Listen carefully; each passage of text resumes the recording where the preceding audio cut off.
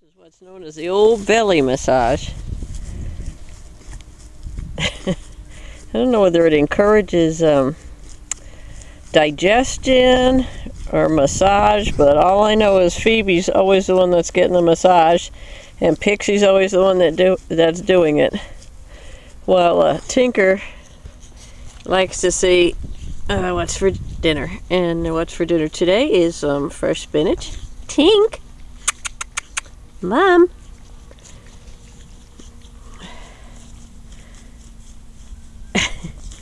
it's kind of crazy, but I bet it does feel good.